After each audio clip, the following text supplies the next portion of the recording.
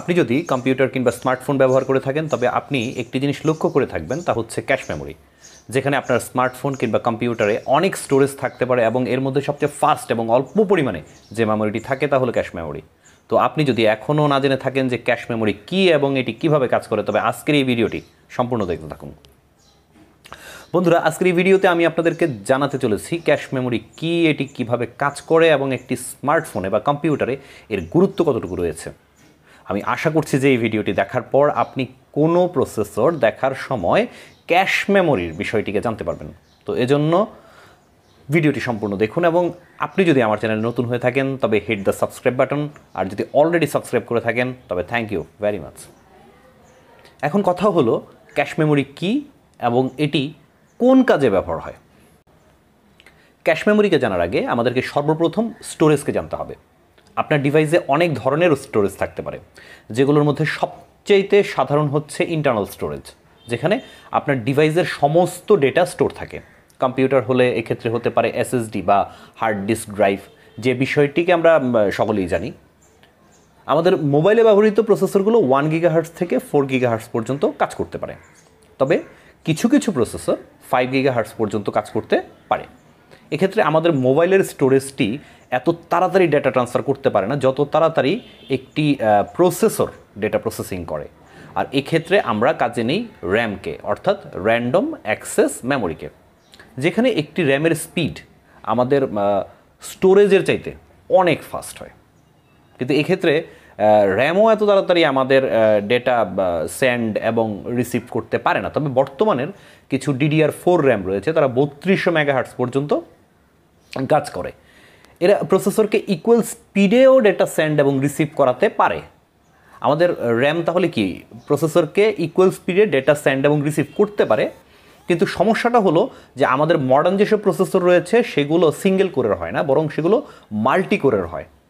এক্ষেত্রে এই প্রসেসরকে হতে পারে ডুয়েল কোর কোয়াড কোর কিংবা অক্টা কোর আর এই প্রত্যেকটি কোর যদি থ্রি পয়েন্ট টু গিগাহার্টস একসঙ্গে কাজ করে, তাহলে আমাদের র্যাম কিন্তু প্রত্যেকটি কোরকে একসঙ্গে ডেটা সেন্ড এবং রিসিভ করাতে পারবে না।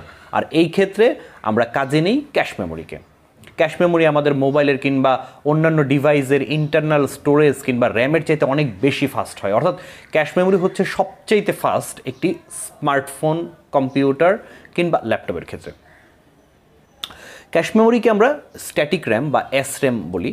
এর বাইরে আমরা যে র্যামগুলো ব্যবহার করি, সেগুলোকে বলা হয় ডি র্যাম বা ডাইনামিক র্যাম। ক্যাশ মেমোরিকে আপনি প্রসেসরের নিজস্ব র্যামও বলতে পারেন, যার ভেতরে প্রসেসর তার সবচেয়েতে গুরুত্বপূর্ণ জিনিসগুলো জমা রাখে, যেগুলো সচরাচর ব্যবহার হয়।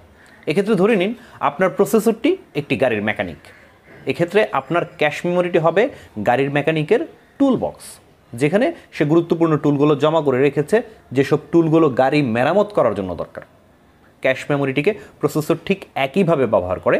প্রসেসরে যে ডেটাগুলো খুব বেশি পরিমাণে ব্যবহৃত হচ্ছে, সেগুলো সে জমা রাখে, যাতে করে সে এগুলো খুব সহজেই অ্যাক্সেস করতে পারে। আর এতে করে যেন আপনার প্রসেসিং আরও বেশি ফাস্ট হয়। আর এই ক্যাশ মেমোরিকে মোটামুটি আমরা তিন ভাগে ভাগ করি, যেগুলোকে বলি হচ্ছে আমরা লেভেল ওয়ান, লেভেল টু এবং লেভেল থ্রি, যেগুলোকে আমরা এল ওয়ান, এল টু বা এল থ্রি নামেও চিনি। তো লেভেল ওয়ান বা এল ওয়ান সবচেয়ে ফাস্ট এবং খুবই অল্প পরিমাণে একটি প্রসেসরে থাকে। প্রত্যেকটা কোরের নিজস্ব কিছু এল ওয়ান ক্যাশ থাকে, যেটি কিনা তার কোরের ভেতরে তৈরি করা থাকে, ভেতরে দেওয়া থাকে। আর প্রত্যেকটা কোরই নিজের এল ওয়ান ক্যাশকে ব্যবহার করতে পারে, যার কারণে লেভেল ওয়ান ক্যাশ বা এল ওয়ান ক্যাশ সবচাইতে ফাস্ট হয়। যেখানে একটি প্রসেসরের level one cache two KB থেকে সিক্সটি ফোর কেবি পর্যন্ত হতে পারে, যেখানে এটিকে খুব বেশি সামান্য মনে হলেও এটি অনেক বেশি কাজের, যেখানে গুরুত্বপূর্ণ ডেটাগুলোকে জমা রাখার জন্য এত বেশি পরিমাণ জায়গার দরকার নেই। এরপর চলে আসে লেভেল টু ক্যাশ বা এল টু ক্যাশ। তো দেখুন, এল টু ক্যাশ হয়তো প্রসেসরের ভেতরে কিংবা বাইরে তৈরি করা হতে পারে। যদি এটি সিপিওর বাইরে তৈরি করা হয়, তো প্রসেসরের কোরগুলোর সাথে এটি খুবই ভালোভাবে কানেক্ট করা হয়। যাতে করে প্রসেসর এর কোরগুলো প্রসেসরের কোরগুলো খুব সহজভাবে এটিকে অ্যাক্সেস করতে পারে। এখানে একটি কথা বলে রাখছি যে লেভেল ওয়ান ক্যাশের চাইতে লেভেল টু ক্যাশ একটু ধীরগতির হয়। একটি level two cache two fifty six KB থেকে ফাইভ টুয়েলভ কেবি পর্যন্ত হতে পারে। সবশেষ চলে আসে লেভেল থ্রি বা এল থ্রি ক্যাশ প্রিমিয়াম প্রসেসরগুলো মূলত লেভেল থ্রি ক্যাশ দেখতে পাওয়া যায়। লেভেল থ্রি ক্যাশকে মূলত এল ওয়ান এবং এল টু এর পারফরমেন্সকে উন্নত করার জন্য ব্যবহার করা হয়। তুলনা করতে তুলনা করতে গেলে লেভেল ওয়ান এবং লেভেল টু ক্যাশগুলো ক্যাশ এগুলো একটু স্লো হয় লেভেল থ্রি ক্যাশের চাইতে। কিন্তু র্যাম এবং ইন্টারনাল স্টোরেজের চাইতে ফাস্ট হয়। একটি প্রসেসরের level three cache one megabyte থেকে টোয়েন্টি মেগাবাইট পর্যন্ত ক্যাশ মেমোরি ব্যবহার করা হয়ে থাকে। এখানে প্রত্যেকটি কোরের মাঝে দেওয়া হয়। অর্থাৎ প্রত্যেকটি কোর নিজের রিকোয়ারমেন্ট বা প্রয়োজনীয়তা অনুসারে এই ক্যাশটিকে ব্যবহার করতে পারে। তো এটিকে একটা উদাহরণের মাধ্যমে বোঝানো যাক। ধর, এক্ষেত্রে ধরুন, আপনার প্রসেসরের একটা ডেটা লাগবে।